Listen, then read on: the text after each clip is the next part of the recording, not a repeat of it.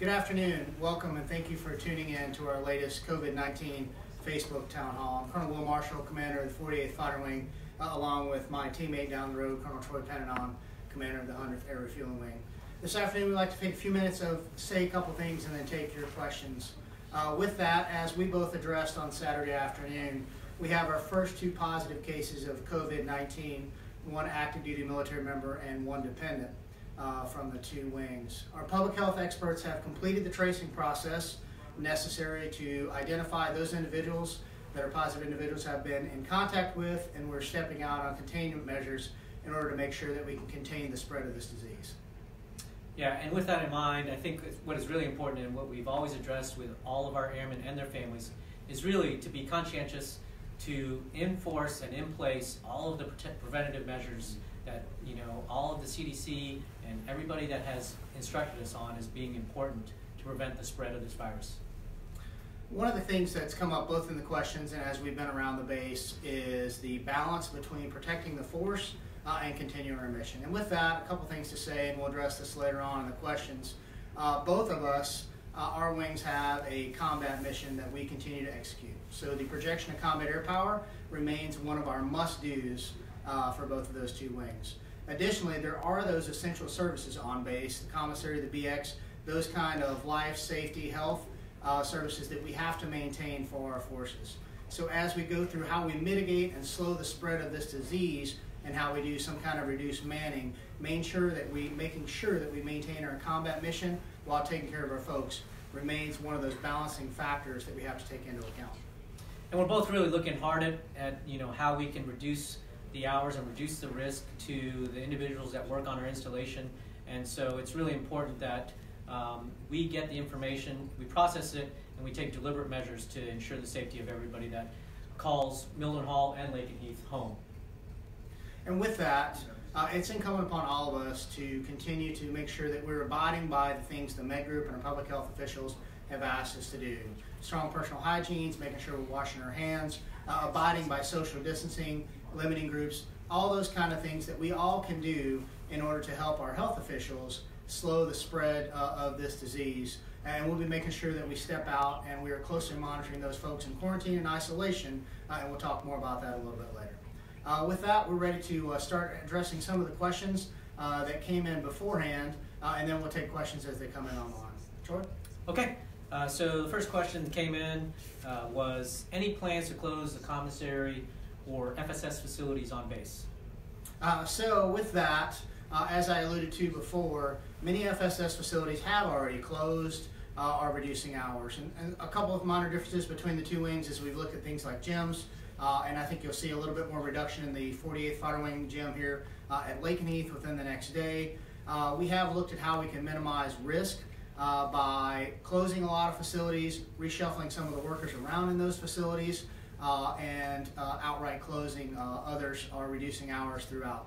As to the commissary, there is no plans to close the commissary right now. I have every intention of keeping that open because to me that is one of those vital services on base in order to provide a safe environment for our families to come in to procure food for home. Perfect. Uh, the next question was any plans for use or lose leave? Okay, so this is something that Big Air Force is going to be responsible for and looking at.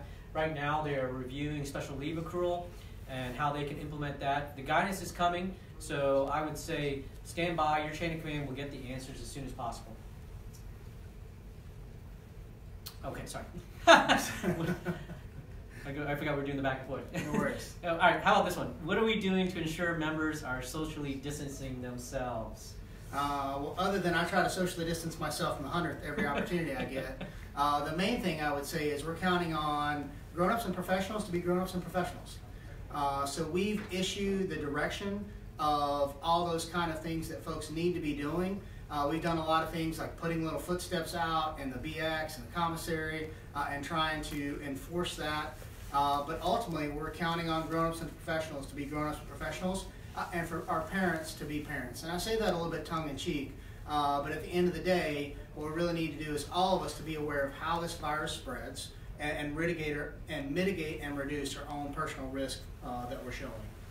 Yeah, very very good. Um, uh, so with that, our next question is: if a member has PCS orders for right after the stop movements, i.e. 12 May, should they anticipate leaving on time? Yeah. Um, so a great question, and I think right now um, that is yet to be seen. The current status is 11 May is the stop movement. It could get extended based on conditions that are surrounding the world and where we stand. Um, we can anticipate some delays. I think I've seen already some traffic where report no later than dates have been slipped to the right. Again, this is a highly dynamic situation. As things continue to improve, hopefully, uh, we will start to see some of those dates roll back to what we would be accustomed to for your normal timeline. But stand by, information is still flowing, and really it is, it goes back to being, you know, having those good practices, making sure that we stop the curve, you know, break the curve and break and mitigate any risk that presents itself to our families and our force. Will contractors still be allowed on base? Short answer, yes. Uh, so to our point before, when we talk about continuing our mission uh, of projecting combat air power and providing essential services uh, and goods on base, our contractors, uh, both our regular folks and the folks that are coming in for special projects are a key part of that. Uh, so there's no intention right now to closing or reducing access uh, to those contractors that come on base. are there plans to cancel flying? Right now, there are no plans to cancel flying. We have reduced some flying operations, but um, both of us have a you know kind of a deliberate and purposeful mission that we need to go out and execute. And as the sole air refueling wing in USAFE and AFRICOM or Africa, we provide a lot of support to customers that are external to this location. And so we are going to continue those missions, those operations, and I'm sure the 48th is as well. Absolutely correct. So we, you will probably see a reduction in flying schedule as we're moving our manpower around to again mitigate risk with how we have people in the flying squadrons at the same time, or people in the control tower, or air traffic control, all those kind of uh, individuals to try to spread them out and mitigate the risk. So you almost certainly see a reduction in the amount that we're flying, but a cancellation of flying at this time is not planned because again we have to get after the projection of combat air power. It says here. Um, if Boris puts the UK in lockdown, where does that leave LNDH? Well, as Colonel Pananon talked about before, all of our different categories uh, of employees, be they uh, government service civilians, local national direct hire, Ministry of Defense, there's a little bit different rule set uh, amongst each of those. What I would say for our LNDH employees, if the Prime Minister puts the country in a lockdown, then as always, we will abide by the host nation uh, rules, regulations, and laws. Uh, so we would expect all of our LNDH employees to stay home, uh, and we will work through the entitlements uh, uh part of that uh, afterwards. Okay. Um, I think that concludes the questions and answers, or the questions that were directed towards us. Um, we're, we're, we're wondering, yeah, if there's any on the on the line right now that are watching that might have some questions for us. Uh, what steps have been taken to sanitize the area that two individuals may have touched? Uh, that's a great question. I'll talk about on the 48th uh, side first. Uh, so the uh, workplace where our positive active duty member uh, worked, we actually brought a contract team in and cleaned that building professionally Uh, with that team over the weekend. Additionally, that building is currently closed uh, for the next couple of days while we work through the, uh, the follow-on part of that. Yeah, and for the member that was assigned to RAF Mildenhall, um, we obviously did the trace analysis. The good news is, is that family was under self-quarantine already. They went to isolation, and then when the symptoms developed more, they sought medical help and assistance, and that was where the test was conducted, and they found out that they were positive. So from a standpoint of trace analysis, there was limited exposure to the outside populace. Uh, they, were, they stayed within their house, so in my estimation and in the medical group estimation, there was very, very low risk to external agencies and or personnel and families. And that's a great point, Troy. I think both of these are good cases to where we had individuals that became symptomatic, immediately identified themselves, contacted our medical authorities, put themselves in quarantine while we waited for test results to, came back, to come back and mitigated and minimized the amount of individuals they could have infected with the disease during that inter time period. And actions like that are going to be critical in order to, as you say, flatten the curve. Are there any other questions?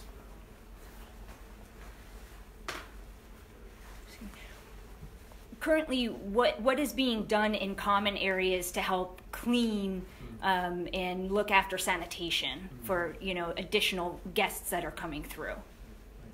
Me first. Sure. Yeah, and so we do have, in a lot of cases, we do have contract cleaning companies that know the proper protocols to ensure the safety and disinfect and remove the chances of the virus being spread or placed onto work surfaces and the and the areas. Uh, what we've noticed is when we've reduced our manning, uh, there isn't as much areas that need to be cleaned as often as normal. And so right now, what we're trying to do is kind of vector our cleaning staff to those areas where they can focus attention on commonly, you know, operated and common areas that we usually utilize. And we also have done a large purchase, bulk purchase of type of proper cleaning supplies and protective equipment to ensure that even us as individuals are able to take care and clean up after ourselves. Likewise, and I would say for areas like our dining facilities, the gym, uh, those areas where we have uh, folks coming through on a more frequent basis, uh, we have stepped up the frequent cleaning throughout that while continuing to emphasize personal hygiene for everybody involved. The next question is about the fitness centers. Um, it says with the RAF Mildenhall gyms being closed as of this afternoon, will 24 hour access still be permitted? Um, so for us, it is um, closed permanently or until further notice. And so no 24-7 access. We did have the gyms on 24-7 CAC enabled access for an extended period of time and now we just have stopped that. Um, and so right now both of our gyms on RAF Mildenhall are closed. Uh, on RAF Lakenheath, uh, recognize the fitness facility is a key part of the resilience for many of our folks. Uh, I try to uh, keep that open as long as possible. Based upon the recommendation of public health and our own recommendation at our own recognition of the procedures and the risk profile as we went through that facility, uh, effective most likely tomorrow, the weight room in that facility will be closed. Uh, because we discovered that the social distancing was becoming a problem in there uh, and making sure the equipment was staying clean. Uh, we really couldn't uh, stand behind that.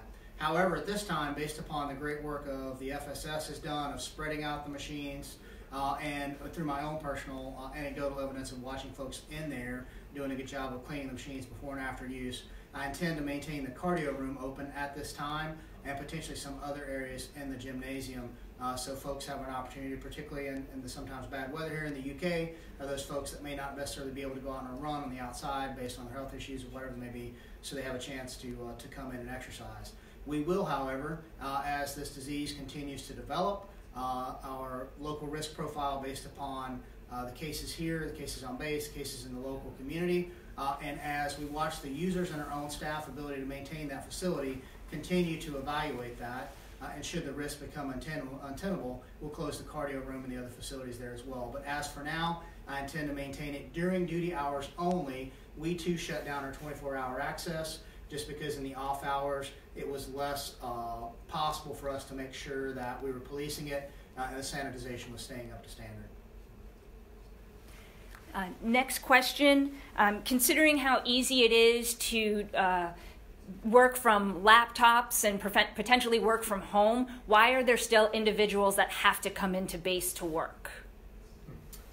Yeah, so I think for the most part, that we want to ensure that people understand and that the audience understands is that some of the tasks that we assign to our personnel aren't really capable of being performed on a uh, home enabled or work issued device. Uh, things like working on the aircraft themselves, doing the, the maintenance that is required to sustain the base, those things must continue to occur because again, it goes back to how do we project combat power, and we need this base operating in order to do that.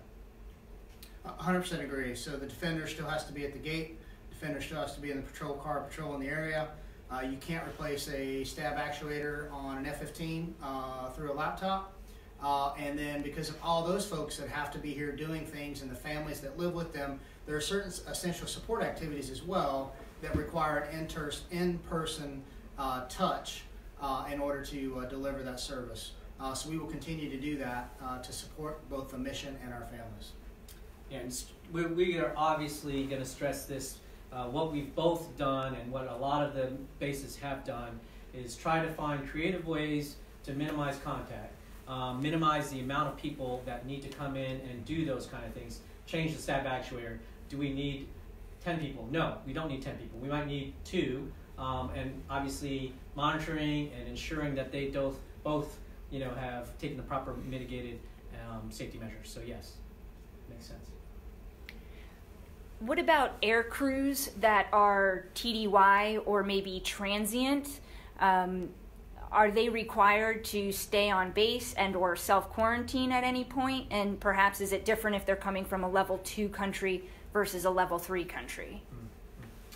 Probably, This is probably it's probably mine. This is probably mine. Okay, so RAF Mildenhall does tend to be more of a transit base, and so what we have is direct guidance on how we uh, basically take care of the aircrew members, and honestly speaking, for the most part, because we can control the process and the mitigation and ensure the safety of the crew, um, we are pretty much looking at housing all of those aircrew members on our installation.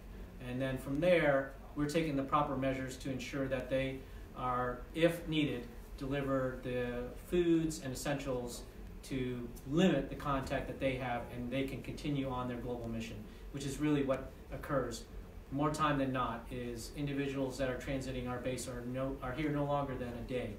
And so that's really our emphasis. With select facilities like the commissary staying open, how are they accommodating social distancing? I would say largely we're relying on our customers uh, to help us out with that. Uh, so the, st- the stores have done, particularly if you go into the BX or the Shoppette, you'll see the little red little red steps on the floor uh, of encouraging people where to step, where to stand, uh, and you'll see that employees throughout are doing things like wearing gloves as you enter the commissary. There's an attendant there who's not only checking IDs to limit access to the store, but also handing out sanitizing wipes so you can wipe down uh, your cart or your basket uh, whatever the case may be. Uh, but largely relying on once you're inside the store, I'm not going to send a chief over there to uh, break people up uh, and separate them by six feet. I'm going to ask our customers to help each other out and give each other a little bit of distance throughout that. Particularly where that becomes a problem is once you get into the line. Uh, from my own interactions there, and I have two teenage boys, so I go to the commissary just about every day. Uh, from my own interaction, it seems like people are doing a pretty good job with that of trying to give each other a little bit of space throughout this. Yeah, one of the things that we're looking at at our installation, we do have a smaller facility, and so we've asked the commissary director about how can we limit the amount of people that are going into the actual facility itself. And so we're going to try and kind of keep it so that people in a small contained area that we don't exceed a certain amount of individuals in that you know small confined space, if you will. And so we're taking measures. We're trying to make sure that um, we're falling in line with exactly what Colonel Marshall is doing with his team. With the CDC's closing, is there a plan to help uh, dual working parents, either both active duty or dependents working? Yeah, I'll take this one uh, as well, uh, at least initial swing at this. Uh, as a dual mill couple myself, uh, I am highly attuned uh, to this, and closing the CDC was a really hard uh, decision for us uh, because I recognize it's not just our dual mill couples, it's also our single parents, uh, and it's our dual working couples who maybe one's a military member uh, and the other member's working somewhere either on or off base. Closing the CDC was a hard decision for us. Uh, we did so in order to, again, try to get in front of this uh, and mitigate the risk. We are looking at if there's a way that we can provide some kind of limited service uh, to those most mission essential and critical parents. We just haven't quite figured out what that might look like yet, or if we can do that uh, and stay within the risk tolerances. Yeah, it really comes down to the mission and how we're able to support it. So in our at our wing, we are making every effort to ensure that we provide a little bit of offset between, if the case may be, two military parents, two working parents, to provide them some coverage when this when the children need it, and to make sure that they're not left alone. So yeah, uh, we are taking every uh, making every effort, and the commanders and the leadership in the squadrons and in the units, um, they are trying to directly address that. If there's concerns or things that we need to do at our level, they are told to come bring it to us so that we can try and find a good solution. Absolutely, we'll definitely need squadron and frontline supervisor help with this uh, because it's not just the kids in the CDC. Uh, there's also a whole bunch of elementary school kids that we uh, will have in remote learning starting this Wednesday uh, that will need direct parental supervision as well, based on the uh, guidelines that our two installations have for when uh, kids can be left at home. Uh, so it's really coming down to the best option we have right now is working with the supervisors to try to provide some kind of offset work schedule or, or telework or whatever the case may be so we can provide a parent at home, at least in the near term. All right, this next question says Are you aware that housing has stopped the health inspections? Um, essentially, if you're currently in TLF and you're trying to move into a house on the economy, if the house isn't inspected, you can't move out of TLF and into your house. Uh, so, is there um, something that could be done to address this issue? Uh, the immediate answer to that is no, I was not aware that we had stopped those inspections uh, of trying to get our folks in the housing off base. Obviously, this has caused a lot of uh, problems throughout the PCS process writ large, uh, and I am very attuned to the fact that moving off base and getting a house here when you first move in uh, is a, uh difficult process uh, throughout. Uh, I was not aware of uh, my housing office stopping those health inspections, so I'll go back and take a look at that. The follow up to that, sir, is some individuals in pet friendly TLF were told that they might have to vacate and then find a kennel to put their pets in. Uh, is there any additional guidance on that, or do you know if there's truth behind that? Uh, I don't know. I would be surprised if we are forcing anybody out of a TLF room that's already there.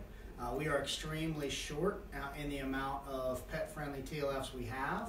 Likewise, since largely the PCS ends have stopped, we're getting very few people in, especially after this week. Uh, that tide uh, should turn. Uh, so I was not aware of anyone being told they may have to move out of the TLF, uh, be it pet-friendly or not, going forward. Yep, again, not something that we're tracking. I do know that um, one of the things that we're looking at at our installation, as we talked about a little bit earlier, we are a heavily transited base, um, and we do need to try and uh, ensure the safe movement of our aircrew as they transit this theater going onward to the next. So there may be instances where uh, mission will dictate um, us asking individuals to potentially move out of lodging, but we're not at that point yet. We haven't reached that threshold. Uh, we're constantly reviewing that, and if that were to be the case, we would be responsible for finding them a alternate location. But I don't think we're there yet, uh, but we will follow up. Yeah, agreed. Can you reiterate when somebody is told to self quarantine, under what circumstances might they be asked to self quarantine? Uh, so, in essence, if someone believes they are at risk for COVID 19, uh, either whether they be symptomatic or because they have been in contact with someone, as in these are two individuals that tested positive uh, this week, we will tell them to go into quarantine for the 14 days. Yeah, the other the other measure that I think um, has been brought uh, from the public health is when they're doing the trace analysis and they follow through and they identify an individual, um, they ask them who they've been in contact with, then the medical staff is reaching out to those families and informing them, hey, there is a potential risk. We'd like you to self monitor, and in some cases, absolutely, if you have any symptoms, self quarantine, and then wait and see if we need to go further. But um, yeah, this is, is important that under a trace analysis, um, identifying individuals that you may have come in contact with so that they can be informed by the medical staff so that they're more aware and we can stop the spread. And then the other uh, condition would be, since we're now a CDC level three country, by definition, anybody that comes here, PCSN, has transited through a level three country. So all the folks that we're receiving, we're putting in that 14 day quarantine period.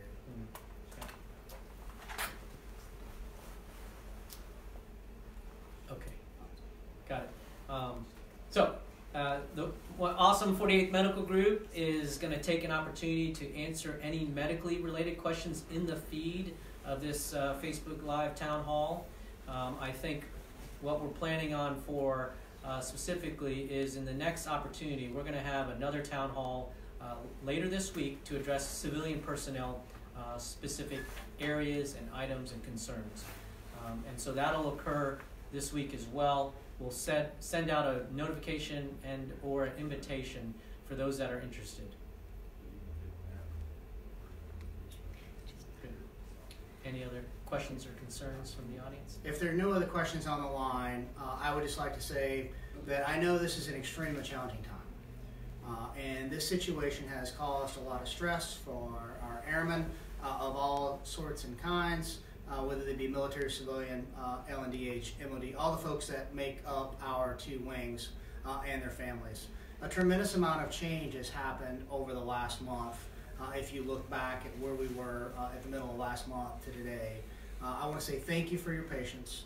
Our medical professionals are doing their very best in order to help us identify the risks, help us to mitigate this disease, to get out guidance in a timely fashion, to allow us to do this with the minimal amount of disruption to you, your family, uh, and the mission. Uh, there's no doubt going to be more change as we go forward. Uh, I ask for your patience with that, and we will try to return to some kind of normalcy uh, when we can. Uh, the other thing that I would also want to reiterate is being thankful for the local community. Um, you know, we are invited guests here, and we cherish that opportunity to continue to strengthen the relationships. One of the wonderful things about it is, is when we get calls from our local community, they usually ask, "What can we do to help you?" And in turn, we're like, "No, no, what can we do to help you?" And really, it's working together, uh, hand in hand. Um, those relationships that we fostered prior to this crises, uh, they're even stronger now. And so we really do appreciate the assistance that we're receiving from the local community, um, and because this is going to be a fight that's, that we will win, uh, but it's going to be done together. So appreciate your help. Thank you. Thank you.